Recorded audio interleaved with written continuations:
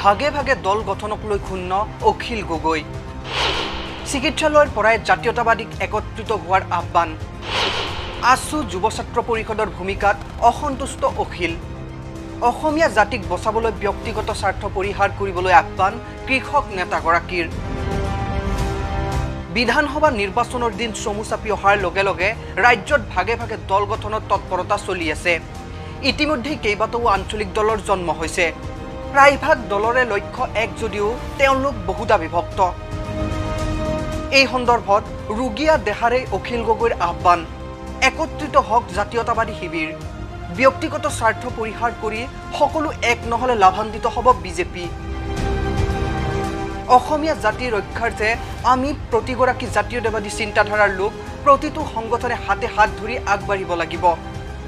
অজুহাতবিলাক সকলোৱে বাদ দি সঁচা সঁচি এটা আঞ্চলিক আঞ্চলিক ৰাজনৈতিক দল হ'ব লাগে। মই বাৰম্বাৰ কৈছোঁ যে সকলো ঐক্যবদ্ধ হ'ব লাগে। কিন্তু মানুহবিলাকৰ কথাবিলাক আপোনালোকে দেখিছে বেকা বেকি যদি সঁচাকৈ বিজেপিক যদি কোনোবাই ৱাক অভাৰ দিব খুজিছে সেইটো বেলেগ কথা। বিজেপিক যদি জিকাই পঠিয়াব খুজিছে তেতিয়াহ'লে দহটা দল কৰক। কিন্তু যদি বিজেপিক প্ৰতিহত কৰিব লাগে আমি সকলো একলগ হ'ব লাগিব আৰু সকলো অজুহাত এৰি দিব লাগিব।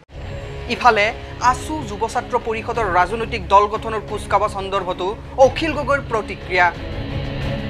দুয়োটা জাতীয় সংগঠনৰ কাৰুকাৰ্যত সন্তুষ্ট নহয় কৃষক নেতাগৰাকী। সকলোকে এখন মঞ্চত অনাৰ প্ৰয়াস আছু যুৱ ছাত্ৰ পৰিষদে নকৰা কাৰ্যত আশ্চৰ্য প্ৰকাশ কৰে কাৰাৰুদ্ধ অখিল গগৈয়ে। সকলোকে AASU A J Y C P K M S A সকলো জনগোষ্ঠীয় সংগঠন সকলো আঞ্চলিক দল সকলো একলগ হ'ব লাগিব। আৰু মই আচৰিত হৈছোঁ যে অসম জাতীয়তাবাদী যুৱ ছাত্ৰ পৰিষদে কিয় স্পষ্টকৈ কোৱা নাই যে সকলো একলগ হ'ব লাগে? সদৌ অসম ছাত্ৰ সন্থাই কিয় স্পষ্টকৈ কোৱা নাই যে সকলো একলগ হ'ব লাগে? মই আশা কৰোঁ যে সকলো একলগ হ'ব আৰু এইবাৰ বিজেপিক প্ৰতিহত কৰিব। জেলৰ পৰাই নিৰ্বাচন খেলাৰ কোনো সিদ্ধান্ত বৰ্তমান লোৱা হোৱা নাই বুলি স্পষ্ট কৰি দিয়ে অখিল গগৈয়ে।